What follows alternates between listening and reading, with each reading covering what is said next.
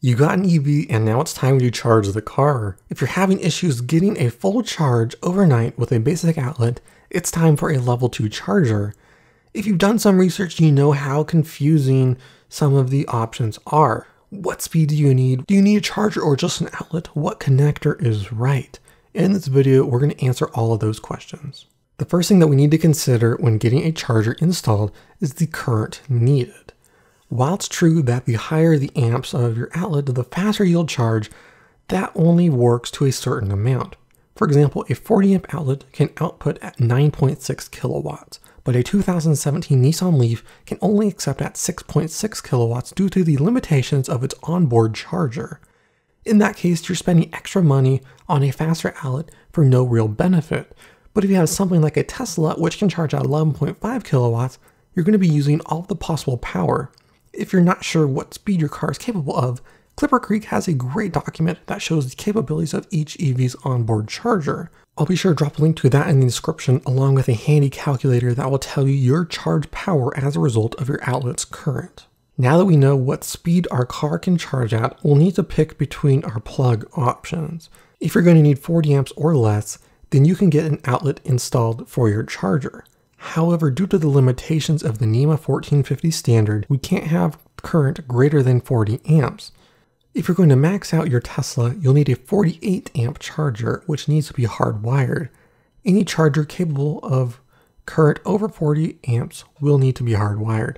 Kind of unfortunate, but that's just the way it is. But what if you don't need more than 40 amps? Well, we get a couple of options on whether we want to get a hardwired or outlet-based charger. There's really no difference between a hardwired and outlet based.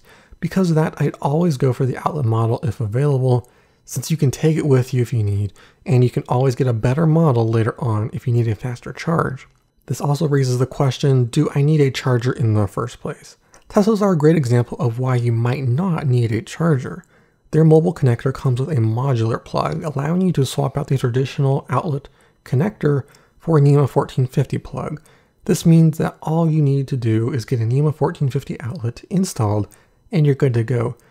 You can also do something similar for other EVs as well.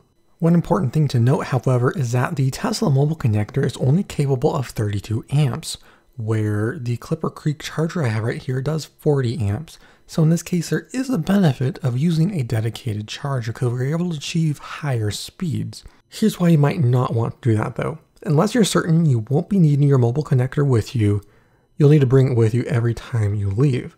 It's a hassle to deal with the long cable and takes up much more time every time you unplug. And if you keep your charger at home all the time, you'll be out of luck if you need it and won't have it with you. That decision is up to you, but I would really prefer having a dedicated charger for home use that I can just unplug and not have to worry about doing anything more than hanging it back up. So now we must answer the question, is it worth getting a level 2 charger? Absolutely, there is no question that a level 2 charger is worth it in every way. Whether or not you want to get a dedicated charging station for this purpose is more up to you. I think it's definitely worth it, and if you want to learn more about the ClipperCreek HCS50P, which you've seen in this video, be sure to check out our review, which will be linked in the description below.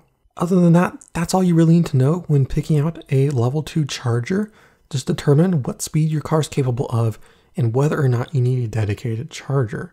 Besides that, it's pretty simple and easy. To see all the options for yourself, go to ClipperCreek's website and take the quiz to find out which charger fits your EV specific needs.